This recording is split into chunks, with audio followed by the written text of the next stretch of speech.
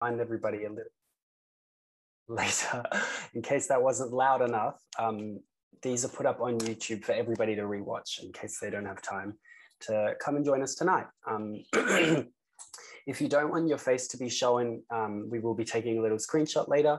Um, or if you don't want your name to be in this video also, um, you can change both of those just by right clicking yourself and then hitting that rename button over there.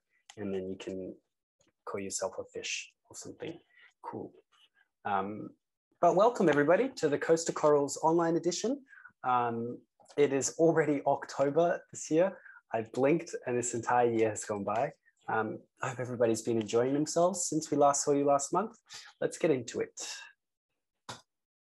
I just want to start by acknowledging the traditional owners um, of the land of which we're on.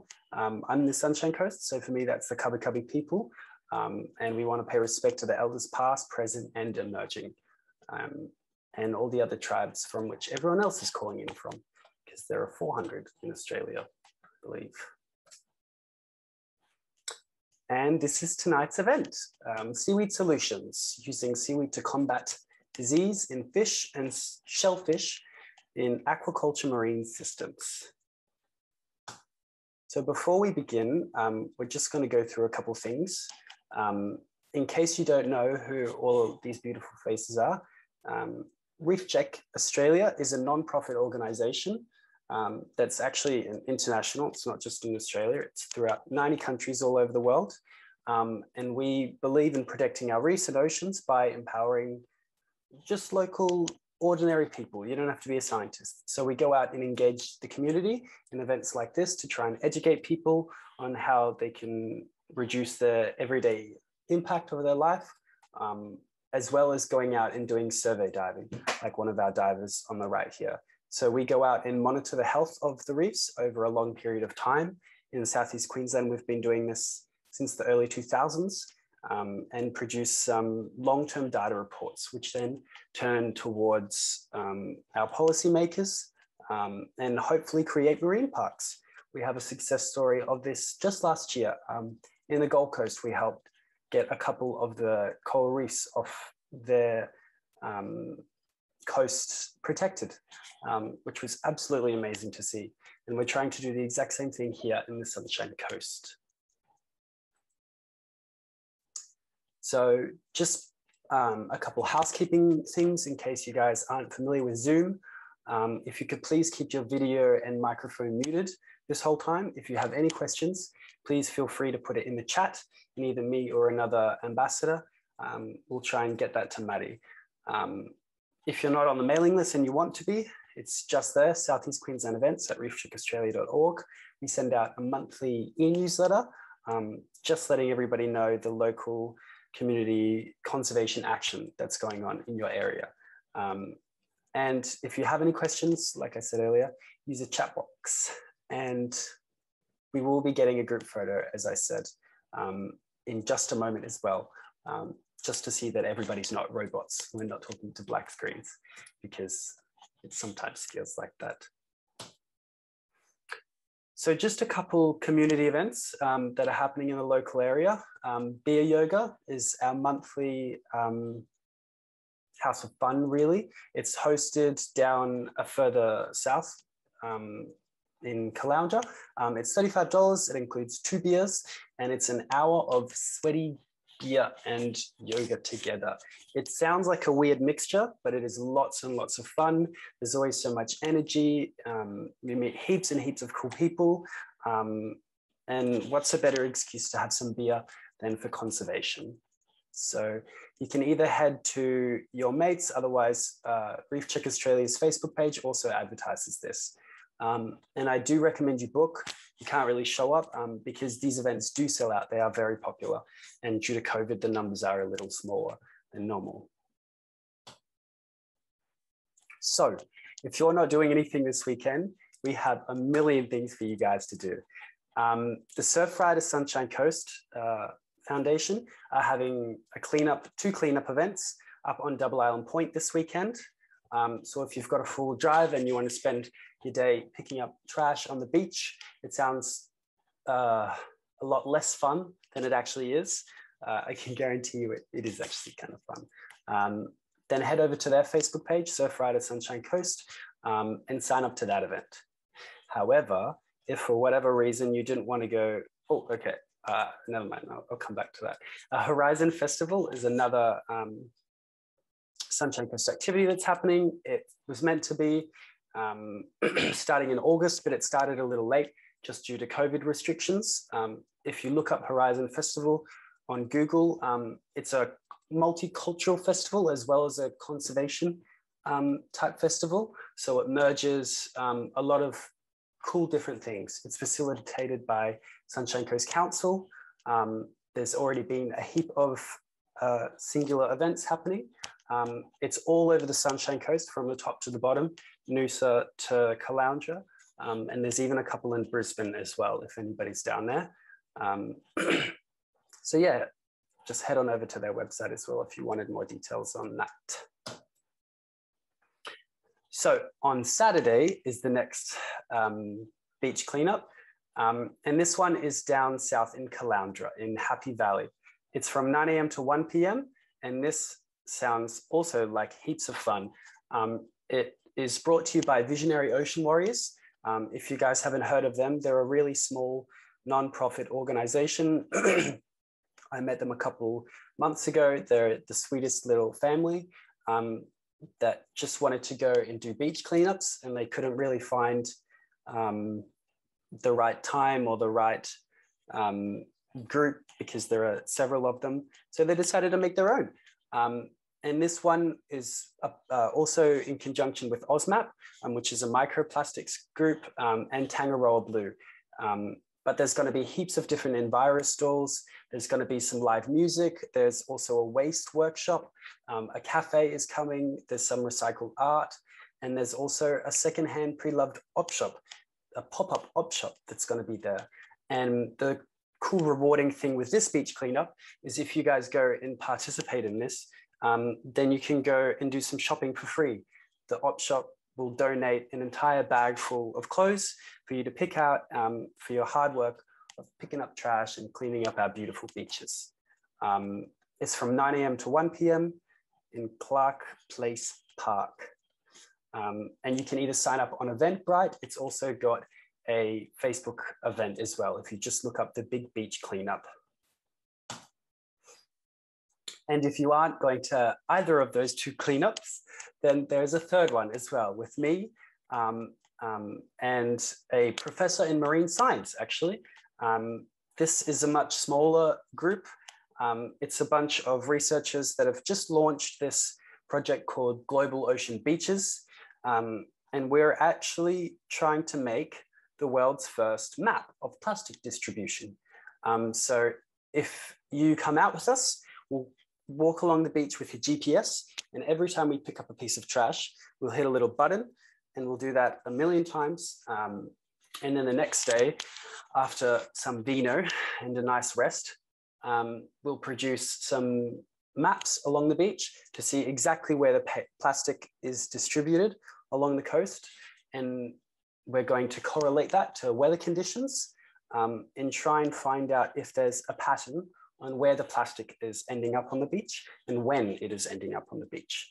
So hopefully after some time and a lot of research, um, we can begin to improve the efficiency of all of these beach cleanups um, and we'll be able to know a little more about where plastic is along our coast. Um, so that's the idea of it. Currently, October is our community engagement month. Um, so both Friday and Saturday for the next three weeks, we have, um, we're going out to go clean the beaches. Um, all of this is on Meetup. So if you hop up on Meetup, it's a website um, where you can go to local events and just look up Global Ocean Beaches. That's where we are. Um, and I will also be launching an Instagram officially over the next few weeks as well. So keep your eyes peeled for that name, Global Ocean Beaches because you'll see my pretty, pretty face there. And then next month, we have an amazing speaker, one of my lecturers actually at the University of the Sunshine Coast, Dr. Vikki Schaffer. Um, which is going to be an absolutely awesome talk. It's on engaging tourists as citizen scientists in marine tourism. Um, Vikki Schaffer is an absolute idol of mine because I'm currently completing a double degree at USC, um, the University of the Sunshine Coast in animal ecology and business. And every time I tell people that, people are like, oh my God, business and science, that so doesn't work. Um, and that's exactly what Vikki Schaffer does. She did her undergraduate degree in science, and she now is a senior lecturer in tourism, leisure, and events management. Um, and she does a, a lot of research on how tourists interact with the local environment, such as going out whale watching with Sunreef, a local dive company, um, and how we can use tourism as a conservation tool, which is absolutely insanely cool. Um, so please, if you are free next Tuesday, November the 9th, um, head on over to Reef Check Australia and sign up for this one. The registration will be opening next week. And this is our last talk for the year as well, actually. Um, we're going to give you guys a break of all this awesomeness over summer so you can relax and head to the beach yourself and enjoy all the beautiful things that are there. If you wanted to get involved um, and be a Reef Check ambassador like I and a few others um, on this call are, then you are more than welcome to. Um, there are two roles you can become in Reef Check Australia. You can either be an ambassador, um, which only takes a couple days of training. We teach you all about coral reefs, about the ocean, but also about how to engage the community and have um, conversations, facilitate conversations with um, strangers about how they can try and reduce the impact on um, the local environment. If you are also a scuba diver um, and you have a rescue dive cert and over 25 dives, you're also eligible to become a survey diver, which is absolutely incredible. I've been trying to do this for the last two years because it's free diving and you get a safe coral reefs. So I'm not sure what else you would want to be spending your free time in. Um, it's loads of fun. You do have to do a little bit um, it's an Australian scientific accredited course, um, so it is a little bit hard to complete, but Reef Check Australia helps you through every step of the way. Um, it is actually a reduced price if you do it through Reef Check compared to doing it outside of the organization as well. Um, so if you're a scuba diver and you want to get involved in monitoring reefs, um, you can also do that as well. As always, if you guys aren't following us on socials, which I'm sure you guys all are because everybody here is amazing, um, please do like us on Facebook and Instagram. We're most active on those two. Um, Facebook is where we share all of our events. Um, and we do have a calendar on Reef Check's website as well if you wanted to disconnect from social media. Um, a big thank you to all of the external organizations that sponsor this series as well. Um, nonprofit organizations are extremely hard to run simply because we can't make money for profit.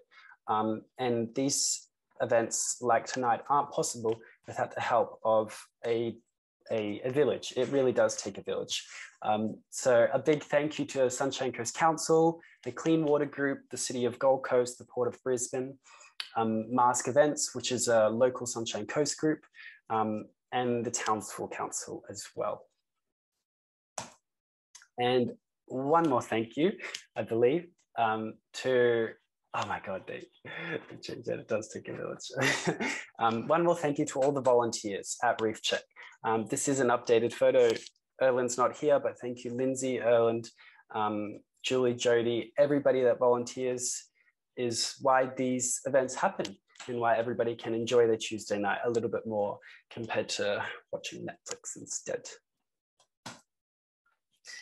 And here's tonight's speaker, um, Maddison Brown. So Maddie began her career over at Berkeley um, at California, where she completed a Bachelor of Science specializing in marine and freshwater ecology.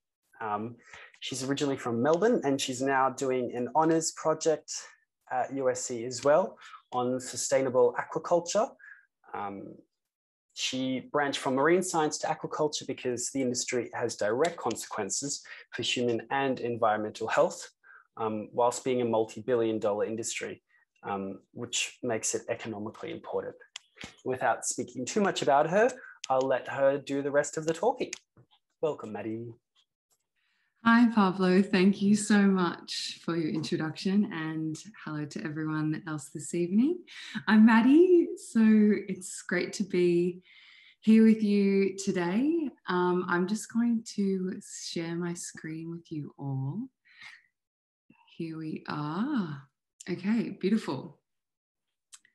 Can we see this, Pablo? Yep, that's perfect. Thank beautiful. You. All right, let's get cracking. So, uh, yes, as Pablo mentioned, I am conducting my honours research project at the University of Sunshine Coast. And today I'm going to showcase a little bit of that research, but I'm mainly going to talk a lot about just a lot of the different research projects conducted by the Seaweed Research Group, which are affiliated with the University of Sunshine Coast. So, more broadly, my presentation will be on just how um, using seaweed mechanism to combat disease in fish and shellfish aquaculture systems. So building this literature surrounding seaweed and where can we apply seaweed? Okay, so I'm going to introduce you to the beautiful seaweed research group, uh, talk about some of uh, individual research projects, then mine, and then I'll go on to the process of my research. So, the Seaweed Research Group is a group of researchers, might be uh, honours level or um, SRP students, which are undergrad researchers, all the way to postdoc um, PhD students. It's a big group of us. Um, and the Seaweed Research Group aims to improve environmental, economic, and social outcomes through the production of world class seaweed research and development. And the group are leading experts in the field and help communities, governments, and businesses recognize opportunities to develop and cultivate seaweed as a resource that is good for the economy, it's good for the environment and communities everywhere. So the team is made up of more than 20 researchers and in this photo we are gathered here on a boat just before we went um, free diving at Moreton Bay. And so this is just a small portion of the group. And, you know, the group consists of academics, students, and technical staff. And there's, you know, the group, there's a wide range of disciplines within the group. So there's a diverse, there's diverse perspectives within the group. Um, so some of them, some of the disciplines involve marine science, some involve aquaculture, molecular biology, ecology, business, health and biomedical science, social science, um, yeah, and the list goes on. So the particular research focus areas usually involve seaweed, which is a high yield crop with productivity levels as high dense terrestrial vegetation. So it is so seaweed is one of the largest aquaculture crops in the world with more than 25 million tons of seaweed produced per year, which is steadily increasing, um, which is really exciting for the aquaculture industry, which is continually trying trying to diversify away from these monoculture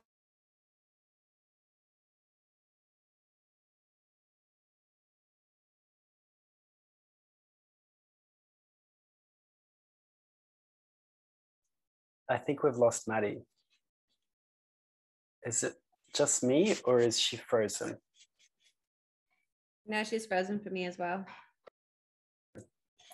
Okay, well, while, while we wait for Maddie to unfreeze, I'm not sure what's to happen. Maybe she's lost her internet connection. Um, I forgot to do the polls and the photo, um, which is a great time to do it. Um, so if you guys just want to fill out where you guys are dialing in from, um, and if you're calling in from internationally, do let us know in the little chat, and then where you heard about this talk as well. Yeah, she has lost. She'll just be reconnecting and probably freaking out. Sorry about this.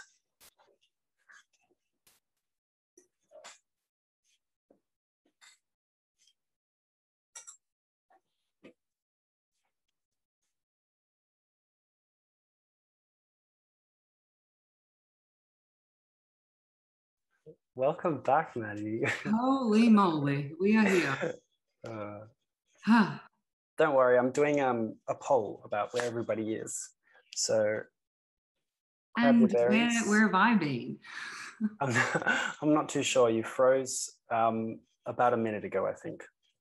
Oh, lordy, lordy me. Well, um, should I, where should I, do you remember the exact place where I dropped out? You were no, I don't. Sorry, I you were in the middle. just saying how many, how much seaweed was produced every single year, and then about how um, that's steadily increasing, which is exciting. Yes. Yeah. Oh my god. Thank you. Thank you. that's so nice. Um, okay. Well, let's. Well, Pablo, uh, do you want me to take the stage again? Please. Okay. All right. I'll take this poll away. And actually, that um, I think that was good because now it's refreshed my presentation, which is now fully loaded, which anyway, right, share. Okay, take two. Okay, so yes, I was here, I believe. Does that look familiar? Okay. Yeah. Yep. Thank you. Um, so yeah, I pretty much was saying that's a very high yield crop and we're um, really excited about investing in seaweed aquaculture because, as you may know, aquaculture tends to have, I guess, negative connotations to it. Um, especially land based aquaculture. So, we want to diversify aquaculture just like you could compare to agriculture. So, you know agriculture have has usually monoculture systems which is like just one crop or just one type of um, animal may it be cattle for example. And if you diversify that crop then essentially you, inc- you increase the genetic diversity and and it future-proofs the system if there were ever, ever some sort of um, pathogen that could really reduce the genetic diversity or and it makes them more resistant to disease. So that's why we want to include seaweed. We want to grow more seaweed here in Australia per se. So why do we study seaweed? Um, I'm going to just show this little snippet from the Seaweed Research Group and you might get a little bit of insight about why we're so interested in seaweed. Seaweeds are really important. They create forests underwater that, just like forests on the land, create habitat and food for a huge range of different animals and other plants as well. So when we lose seaweed forests, everybody loses. And that's because seaweed forests are the basis of coastal marine ecosystems. So they provide habitat, they're foundational species, and they support and underpin marine ecosystems along the coastline in Australia, here on the Sunshine Coast, and everywhere else in the world as well. People are really, really interested in what seaweed can do for them, for their health, what seaweed can do for the environment, and also what it can do for jobs. And it's a, a great thing that we can bring that type of knowledge and bring the research that we're doing at the university out into society. The Seaweed Research Group brings together a broad range of disciplines, people working in sciences, ecology, marine science, and biotechnology, as well as nutrition and dietetics researchers, and business and consumer researchers. The shared vision of the Seaweed Research Group is to work with business, communities, and government across the world to bring about innovations that have benefits for not only the economy but also the environment and our societies. And one of the things the USC Seaweed Research Group is really keen on doing here on the Sunshine Coast is setting up some large scale seaweed restoration projects. This is a really great opportunity for Sunshine Coast uh, locals and people visiting the region to get involved and, and help us out as citizen scientists. And it's something that's really positive to do. There are lots of health benefits to adding seaweed to your diet. Seaweeds are really versatile and they have a lot of different textures that they can include that make the foods healthier and more interesting, as well as they have a diverse nutrient profile. So there are essential amino acids, fiber, antioxidants, as well as minerals involved in seaweeds. The first step is to make seaweed more accessible to Australians. And I think we need to support local seaweed industries in order to do that. It could be incorporated into the staples. So if we added seaweed into flour, for example, then we could use that in pastas, um, breads, pizza bases, all those sorts of things that Australians already like to consume. So, as well as the, the nutrient benefits and the health benefits to eating seaweed, there's also strong livelihood, livelihood impacts and social impacts of developing seaweed industries as well. There's a huge amount of potential, and we're looking at it from all different angles. And the exciting part is that when we start to talk about creating this new industry and something of a big scale, it can lead to tens of thousands of jobs, often in regional Australia, where we need to find employment and bring about a whole range of environmental benefits that can have local impacts as well as lead the way for our global climate change solutions.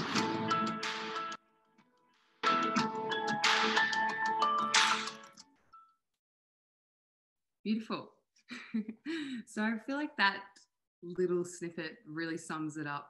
We are just really passionate about involving, um, you know, the community, industries all together to collaborate and learn about seaweed and where can we apply seaweed. It seems like a very um, I guess like a, a, foreign a foreign concept to us. Sometimes we go for a surf and it gets stuck in your leg or something like that, or you might get tangled in some seaweed when you're going snorkeling and maybe it's a bit, you know, gross and smelly. But in fact, seaweed has so many applications and provides a really exciting opportunity to diversify aquaculture. So seaweed already is used due to its vast is array of chemical compounds, which include essential oils, fatty acids, fiber, minerals, and antioxidants, and is often used in pharmaceuticals and nutraceuticals. So, I particularly learnt about the exciting research um, about seaweed through a documentary that was showcased on ABC iView called Fight for Planet A.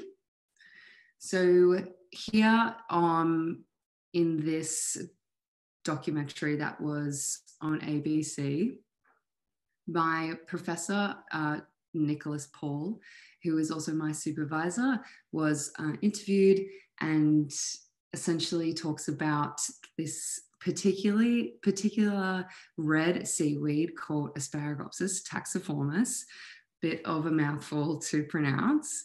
And this seaweed is really exciting because potentially can help fight climate change as it can reduce the methane production of ruminant livestock.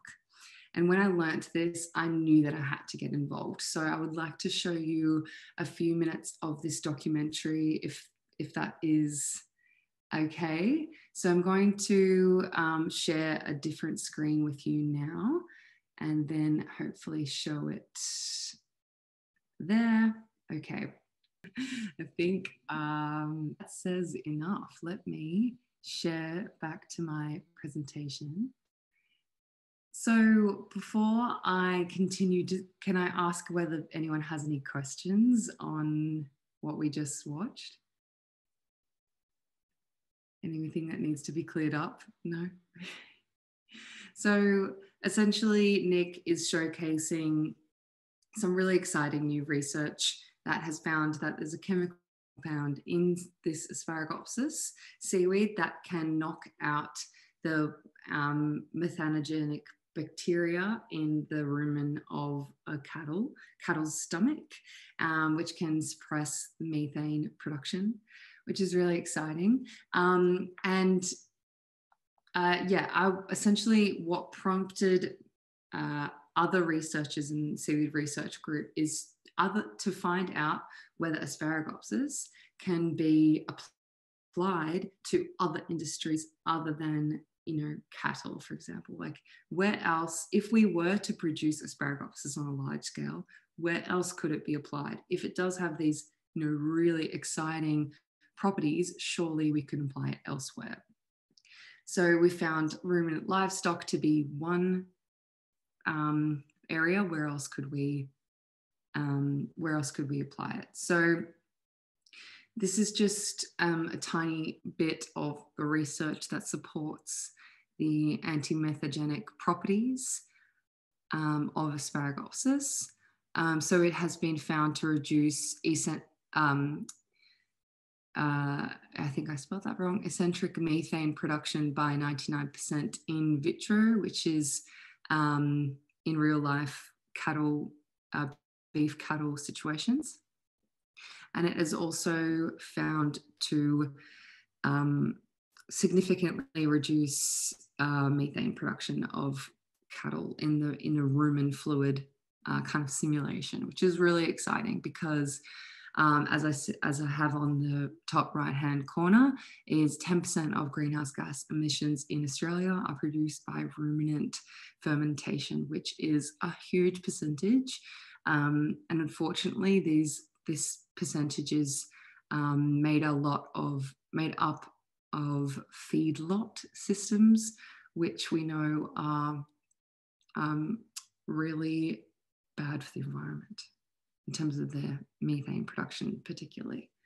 So, um, can, aside from the use of asparagopsis as a supplemental feed for ruminant livestock, history of research has found that you know these halogeneic metabolites are biologically active, which are antibacterial, antiviral, antifungal, and anti-inflammatory.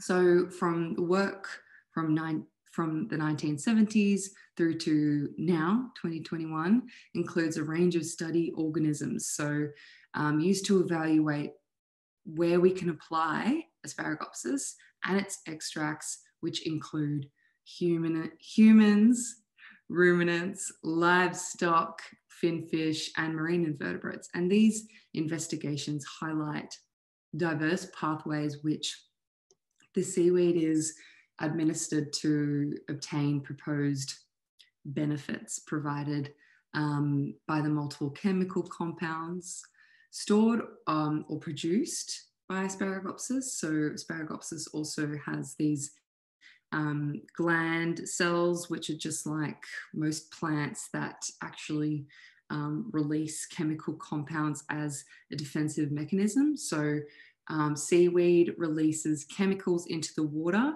um, like toxins, which prevent herbivorous animals from eating the seaweed, so prevent predators.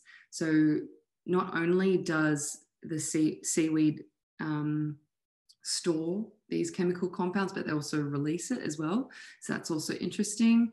Um, and we want to know whether we can apply asparagopsis as a whole seaweed, like we saw in those tanks, or whether it be in a dried format, um, which could then be supplemented into feed, you know, just like the pellets that are fed to cattle, for example, or um, the fish pellets that are fed to fish in, aquaculture systems. So considering the multitude of benefits of asparagopsis as an ingredient for fish and ruminant livestock, it is timely to explore whether asparagopsis can also function as a beneficial feed additive for other animals um, using other forms of agriculture. You know, it might be chicken or pigs. Um, in aquaculture, it might be shellfish, such as oysters and mussels. Um, and this is really exciting because these anti, antimicrobial effects of asparagopsis could be relevant to, you know, common bacterial and protozoan diseases that, um, as we may already know, really wipe out these aquaculture systems. Disease is um, number one, the biggest threat to um, farming fish. Uh, for example, salmon are highly prone to parasitic diseases on their skin, which is really awful. And then we have like a herpes um, HIV virus, which wipes out oyster farms. And this is really concerning as we really need to keep up with the growing demand of food. Um, but also, we want to do this in a way that is sustainable. Um, a really exciting project conducted by Valentin Thépot, uh, but part of the seaweed research group found a different um, well, application for Asparagopsis, which was used as a feed supplement for farmed finfish, particularly um, rabbitfish, which is um, a herbivorous, well, it's actually an omnivorous fish. However, this particular fish um, mainly eats seaweed more than it does um, eat meat. So that means that it can pretty much live off just eating seaweed. Um, and this is really promising as we could grow seaweed together with fish, which could co mutually benefit each other. So I'm just going to show this video um, because I think Val sums it up really well.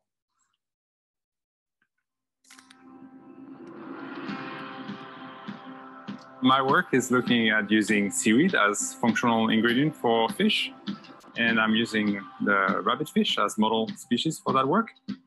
The idea is to uh, actually be able to not use antibiotics by boosting the immune system of fish, so we don't require treatment down the track. From a trial we conducted uh, mid last year, we had uh, double the immune response in the fish that were treated with the seaweed compared to the fish that were not treated with seaweed. From that first clinical trial, we had three uh, best performers seaweed, Ulva, uh, Laurencia, and Dictyota. One of them, Ulva, that we're cultivating here at the Bribie Island Research Center, actually led to doubling in some uh, immune parameters in their activity. So that potentially translates into more resistance to disease and pathogens in aquaculture. This research is really uh, fundamental for aquaculture across the globe because disease has been highlighted as the major limiting factor uh, for the industry and costing it up to $6 billion a year. So yes, I'm very, uh, very excited about my little uh, project uh, being able to have such an impact in potentially in the aquaculture industry worldwide. So yeah, Val is very modest to say that um, his project is little, um, because in fact he's had some really exciting um, findings. So you mentioned the innate immune system. So essentially there are various parameters that we can record in fish or even um, any animal, for example, that can um, allude to the immune health. Um, and this could be, for example, um, blood cell count, and that can indicate how well um, a fish or an animal could respond to a pathogen, whether it be bacterial or viral, um, and and essentially uh, fight these um, pathogens. You know, whether we were waterborne um, or, or you know passed down um, in these kind of feedlot systems. And this is really promising as, you know, as I said, we have a growing demand for food in, um, you know, today's day. And we really want to do that in a sustainable way. Um, and we don't really want to be, we want to avoid using antibiotics and synthetic um, immune boosting supplements and even growth boosting supplements, we would prefer to use natural um, supplements, which could include seaweed.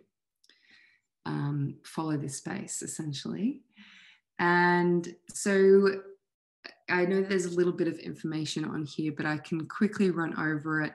Um, that uh, Val found that when he fed um, salmon, Atlantic salmon, which is on the left, when he fed um, the salmon asparagopsis into their diet, it actually enhanced their growth rate, their feed intake, um, and also their immune response. And this is really exciting because it means that they're got they're more um, likely to fight diseases and they'll just be generally um, more healthy individuals.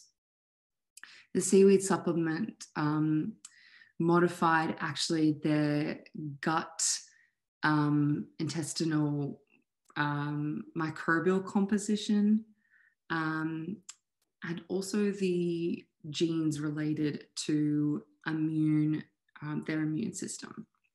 He also used different seaweed dietary supplements, which is on the right hand side. Um, he did mention this in the video that I just showed. So he used different types of seaweed, and you could see like some red seaweed and some green seaweed, uh, which was uh, most likely ulva, which is the sea lettuce. And he found that from all the different seaweeds he included, Asparagopsis um, recorded the largest increase in hemolytic activity.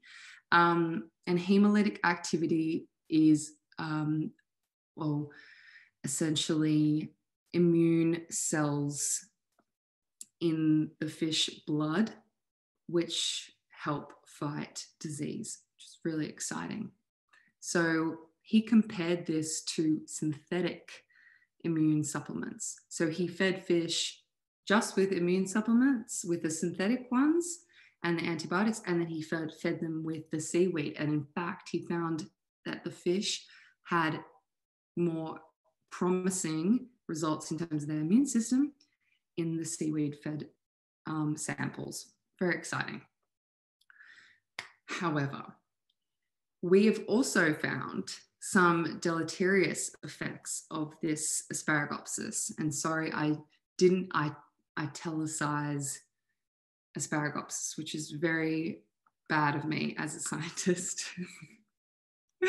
so that's fine. Can I ask what does the word deleterious, if I even pronounce that, oh, mean? That's okay. Um, it means negative effects.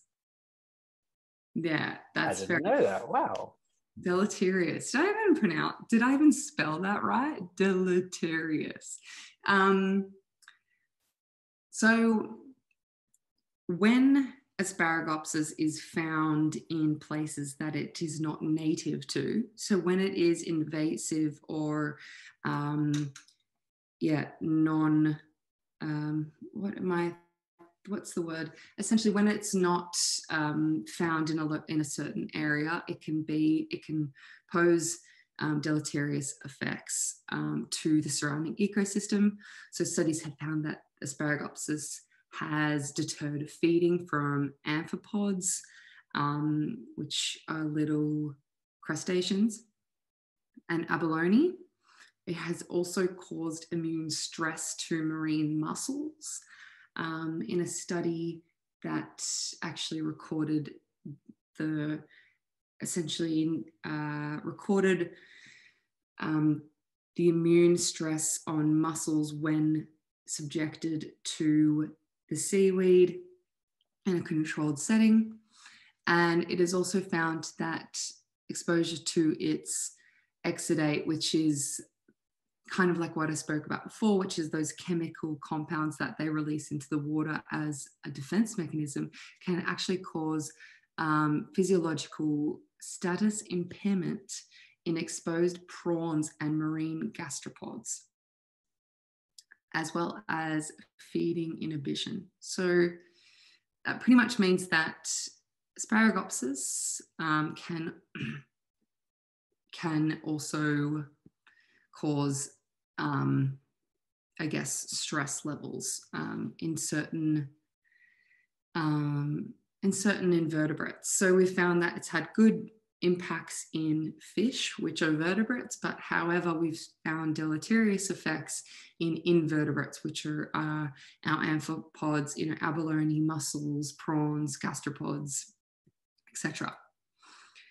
Um, so kind of now transitioning into my research. So when I first met up with um, my supervisors, we were talking about asparagopsis and we're talking about where it has been applied to in research and where it hasn't been applied to yet. You know, we've tested all these animals so far, but you know, where the, where is there a blank space that you know I could just dive into?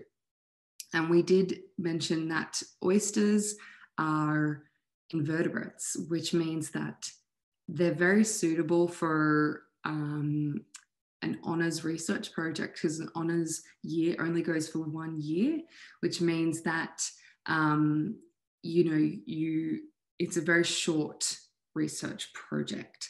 Therefore, to get the ethics approval of working with vertebrates, um, it's a lot more difficult because you have to go through a lot of um, yeah a lot of ethic approvals. So oysters, considering they have a decentralized nervous system, it means that they are a suitable target organism.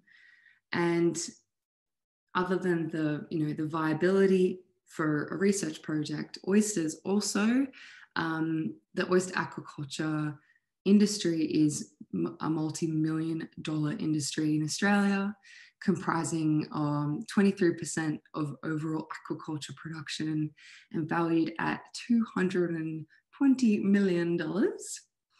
However, disease is one of the biggest threats um, to the industry, which affects the quality of the crop, which is like the meat, and the productivity, which is how fast they grow of, um, and in the farming operations.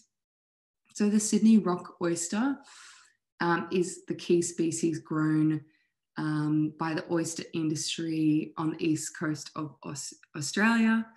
Um, and this is a picture on the right of the oyster lease, oyster lease farm in Moreton Bay, which is very close to us here um, on the Sunshine Coast.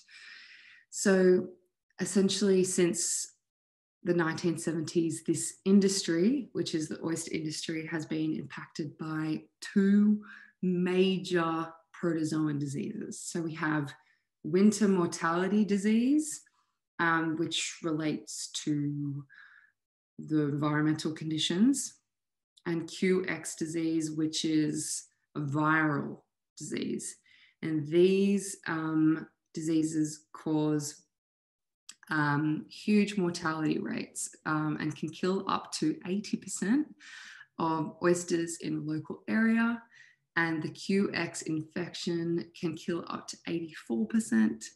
And in both cases, um, prevention and control methods are very limited um, and are very difficult to come by.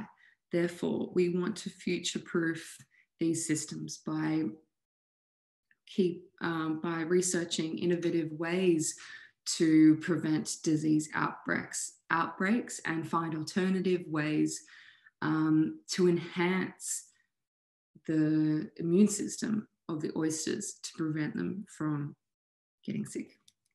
Amazing. So this diagram shows a potential for a co-culture system in an open ocean aquaculture um, systems. So here we have um, on the very bottom, we have some seaweed. And the seaweed um, releases its chemical compounds into the water and also provide um, nutrients and are photosynthetic. So they release oxygen into the water, which is helpful for um, our co-cultured organism, which could be fish, mussels, or um, crustaceans. Yes. and yeah, so this is a little example of how maybe diversifying these um, aquaculture systems, how we could grow them all together to mutually benefit each other and future proof them from disease. And, you know, it does talk a little bit about nutrient cycling too, but I will not um, go too far into that. Beautiful. So, uh, as we saw in Val's um, little interview video, um, rabbit fish and seaweed could be grown together.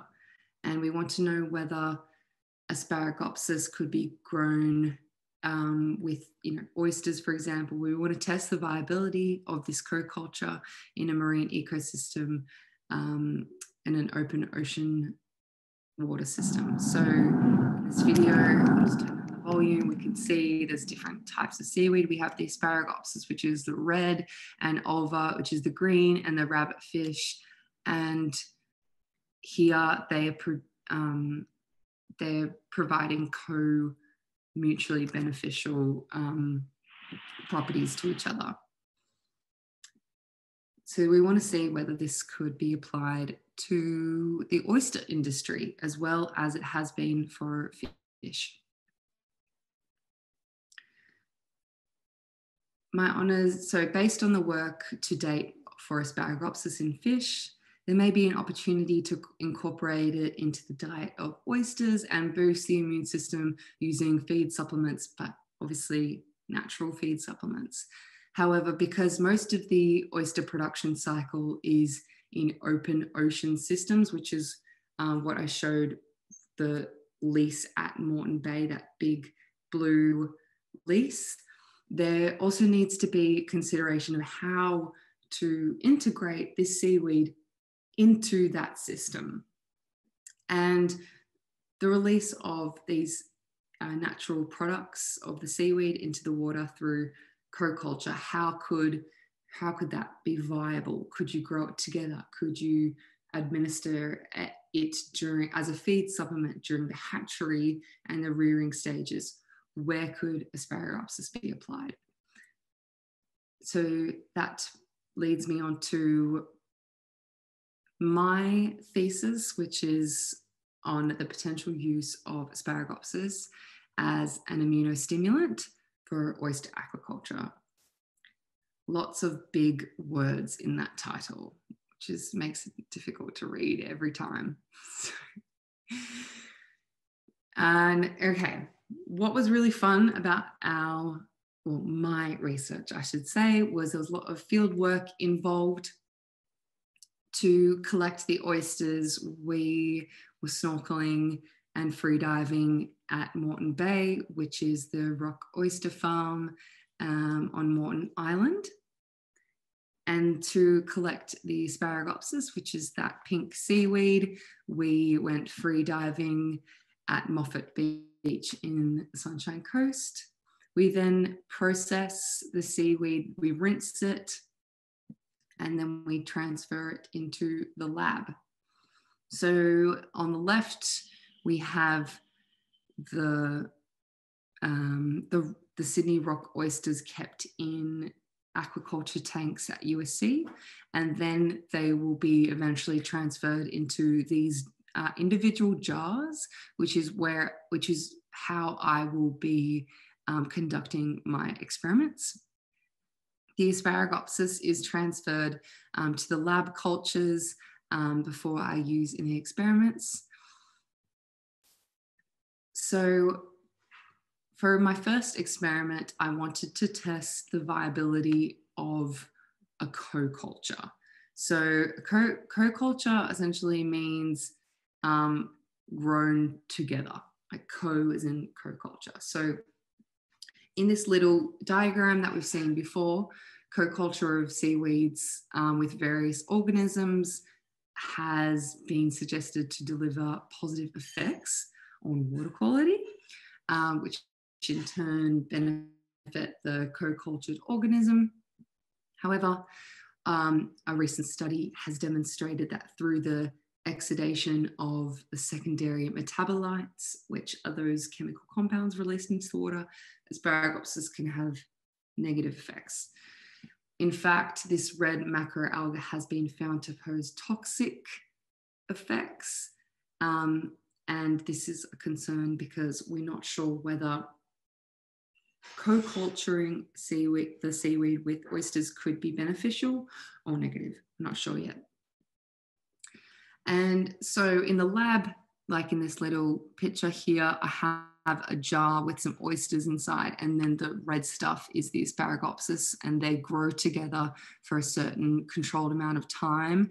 Um, and I, I, continually exchange the water and feed them as well with the standard oyster feed, um, which is um, like essentially phytoplankton. Um, and then uh, over time, over two weeks, I test um, the survivability, which is whether they you know live or die, or uh, or I also test the immune response. Leading me on to my second experiment, which is using asparagopsis as a feed additive. So on the left, I'm using a pipette, um, which has the oyster feed, which is that phytoplankton mixture. But then I've also supplemented that with um, various dosages of asparagopsis. And that has either been um, substituted as um, a fresh additive, which is just literally um, blended seaweed, um, a whole dried seaweed, which is like a powder form. And I've also um, used it as an extract, which is where I use methanol and use exhaustive extraction to um, essentially you're left with a very small portion of the of the seaweed and you remove all of the fibrous um, all the fibrous stuff, the cellular stuff. And then after two weeks, similarly, I will test immune response based on various parameters. So to test, oh, one moment, we're glitching out here. Ooh. Oh, she's going. okay. To collect my data, I extracted the hemolymph, which is the oyster blood. And I extracted that from the adductor muscle, um, which is the muscle responsible for the opening and closing of the oyster shell. And to do this, there's two ways you can do it. You can actually anesthetize the oyster, so you like put it to sleep and it opens up, and then you insert a syringe um, you insert a needle and then pull out the blood very, very slowly. Otherwise, you can use um, pliers, which are like bone cutters, and you clip the shell um, and then you poke a syringe through the adductor muscle. So I will just play this again. So, yeah, that's pliers, and then I stick a syringe and suck out all of the blood. Yes. Okay. And then I process these blood samples under the fluorescent microscope. I use a fixative and then a DAPI stain and analyze it under um, the light microscope here. So you use a little pipette, put it under a slide, and then you look at under the light microscope. And then we count the number of hemocytes. So I get um, these, this is what it looks like under the light microscope. Those kind of green, blue dots are the hemocyte cells. And the hemocytes indicate whether um, indicate immune stress or immune health. So I would allude, I would that allude to a boost in immune response for this top picture because there are more hemocytes, whereas down here, we have less hemocytes. Um, and this is quantified using um, statistical data and also ImageJ software, because obviously that would be awfully difficult to count um, just by eyesight. Um, so I just wanted to put um, some very basic uh, graphs of my results. So after two weeks of the experiment, so that was the co-culture experiment, I found that the filter water treatment, so the treatments that um, where the Asparagopsis was grown with the oyster, we I actually, well, oysters experienced 60% mortality um, whereas the water treatments, where I actually changed the water regularly, the mortality was 20%, which alludes to the fact that um, oysters are struggling to survive when um, grown with Asparagopsis.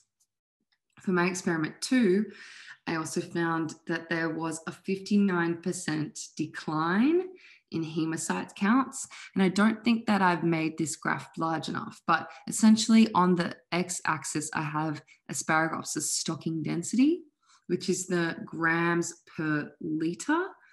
Um, so the grams of seaweed per liter of water. And, and as you can, on the uh, x-axis, we have an increase in Asparagopsis, but as you can see that our hemocytes were really high for no Asparagopsis co-culture, but as we added more and more Asparagopsis, hemocytes dramatically declined. So this is a huge indication of immune stress, which means that the um, oysters are really struggling to survive under these conditions. Um, so invertebrates uh, often indicate a common regulation mechanism, which is uh, inflammation and uh, immunity responses in the presence of Asparagopsis. And it's due to these secondary metabolites, um, which are natural products of Asparagopsis, um, that are released into the water to prevent um, prevent um, getting eaten by herb- herbivorous species and, and other consumers.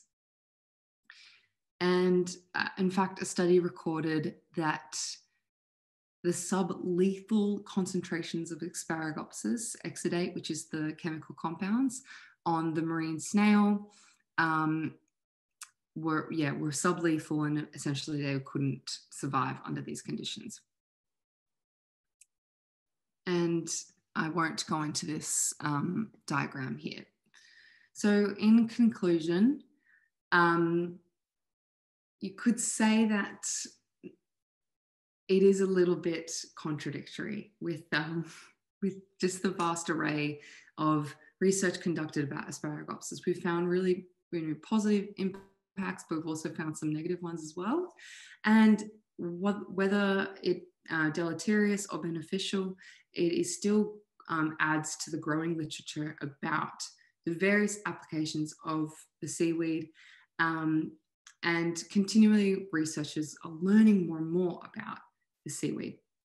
The more we learn about it, um, it can assist us to make well informed decisions regarding where we can grow Asparagopsis. We definitely can't grow it with oysters um, on a large scale, and where else we can apply it in the future. Um, so my references are just on this last slide and I will conclude my talk here. I would love to answer any questions if, um, if anyone has any questions for me. Thank you so much. Thank you so much for that talk, Maddie. Normally I have a gazillion questions, but that was extremely informative. Every time one popped up in my head, you literally explained it straight after. Um, so, what was the biggest challenge you found so far in doing your honours project? Hmm, biggest challenge. And while you're thinking of that, um, for the remaining participants, before I forget, would everybody like to turn on their cameras and we can do a quick selfie as well? Selfie.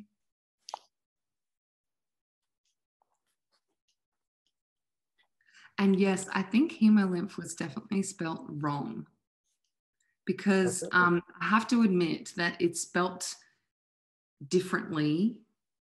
Um, in America? In different, yeah, but in different studies because hemocyte is sometimes sometimes spelled with H A E and then also H E M. So I'm sorry about that. Um, That's all right. Yes, thank you for noticing that. It's good that somebody was paying attention at least. That's all I thought about it. at least someone knows how to spell. Awesome. Well, we oh, what was the most challenging thing? Mm-hmm. Um, I think something that was surprisingly challenging was um, trying to remove like the bias involved in science. So, I mean, I started my presentation showing you all really exciting research about Asparagopsis, and then I end up finding that, um, in fact, it is uh, really putting oysters under huge immune stress. And I think that when you're looking, you know, through your data and you're and you're going into through all of the um, the data points you've made, you um, you can't yeah you can't lie with the research that you that you find. Um, no, and, there's yeah. also a comment from Irene as well. That's been difficult. I think also like time is a huge factor because one year um, to find conclusive is is really hard. Mm. Um, yeah, one year is just not enough time. Mm. And I would love to continue my studies, but I only have one year of my honours. Guess you've got to do a PhD then. yeah, exactly. Cool. Awesome. So for the people who do have their cameras on, thank you. Um, I'll just take a screenshot in three, two, oh, hey, welcome plastic free boy. Lovely to see somebody plastic free on the call. No worries, Irene, about not putting it on. Um, cool. So big smiles in three, two, one. Awesome. Let me see that I got it. And I'll open the floor if anybody has any questions it. You're more than welcome to unmute and say hello. I'm just going to quickly um, plug in my laptop. Okay, here we go. All right, I think I have some questions in the chat. So I was reading. Um, uh, yeah, so someone said as you mentioned, aquaculture doesn't have a good track record reputation at the moment, and that is actually dangerously true. Um, uh, well, I think particularly land-based aquaculture has such a bad reputation, um, and now you know we're, no, we're learning more and more about the diseases that um, are spreading in these even the open ocean systems too. And we um, we really want to provide food to a growing population, um, but we also want to ensure that they're resistant to disease and they're they're not under huge immune stress. This is um, very important to us. Um, yeah. What other questions? Isn't he? Yeah.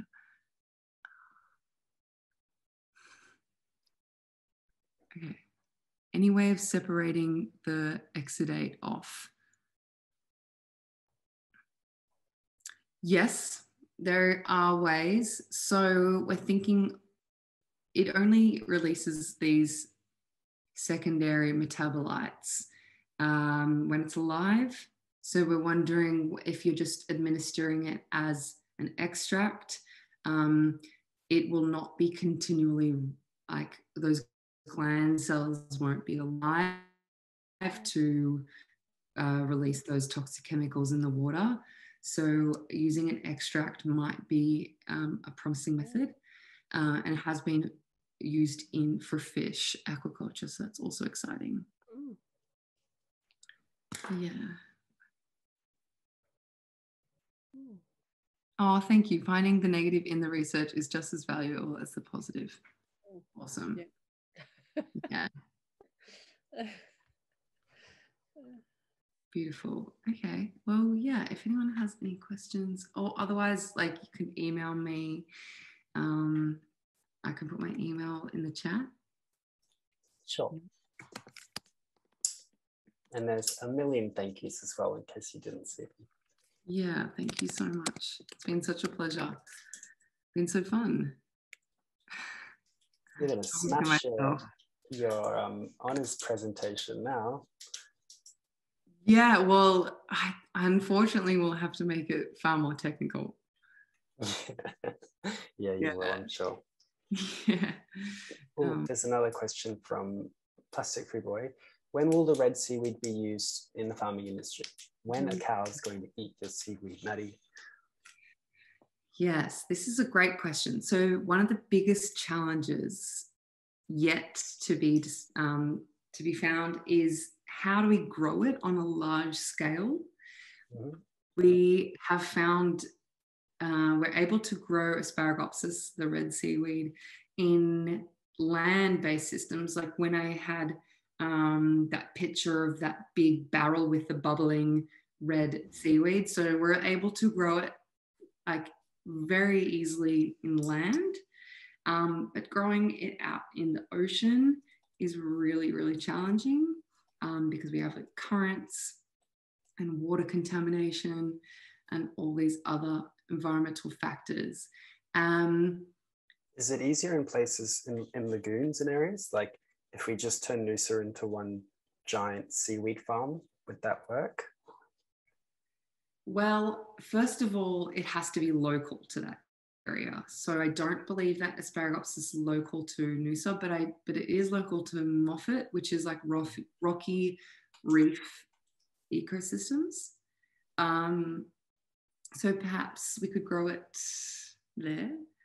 Um, but yeah, when will we when will we use it in the industry? So you'll see it used in the industry in third world countries first. So we're already seeing it potentially in um, Cambodia, and they're growing asparagopsis like crazy over there.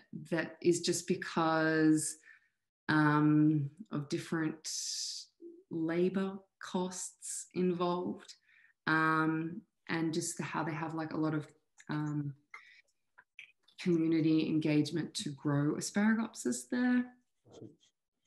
And um, yeah, you will see it in third world countries first because they're really desperate to produce food fast, right? So they're just, you know, in, in a short, uh, low demand, well, high demand of food, but, um, you know, obviously their environmental footprint is probably the largest often, not per capita though, like Australia. Yeah, we don't need to go down that way. Mm, no, terrible. Um, I think soon is the answer to that. As soon as possible, we need to start, you know, growing it. Yeah. Okay, well, if nobody has, oh, there's one more question I was about to say. Nobody has. Are they growing it in the ocean or on land in Cambodia? Do they have big tubs or are they putting it in lagoons and stuff? They're growing it in the ocean. Yes. Okay. Let me um, let me try and find a link to it. Yeah. Yeah, so that's pretty exciting. Nice. Um, yeah, but um, it is far easier to grow in in land-based systems than in the ocean we're going to need some big tubs to get 50,000 tons. Yeah. That's a lot. I wonder how many tubs we'll need for New Zealand because there's probably just as many um, sheep compared to cows. I think there's like, there's a lot of sheep. Let me Google how many sheep there are in New Zealand. I think there's 80 million. Very interesting to see if we can apply it over there. Oh. Oops, I didn't mean to send that privately. 26 million sheep. Nice. So I just linked um, a website called Greener Grazing, um, and they are on the mission to grow asparagopsis in a large scale. Um, yeah, so that's also very exciting. Yeah. Awesome.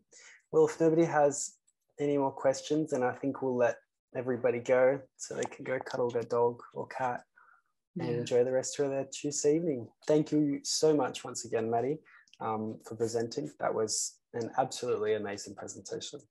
Thank you. So glad to be here and thank you for having me. I'll see you all very soon. No worries. And we'll see everybody next month with Dr. Vikki Schaffer.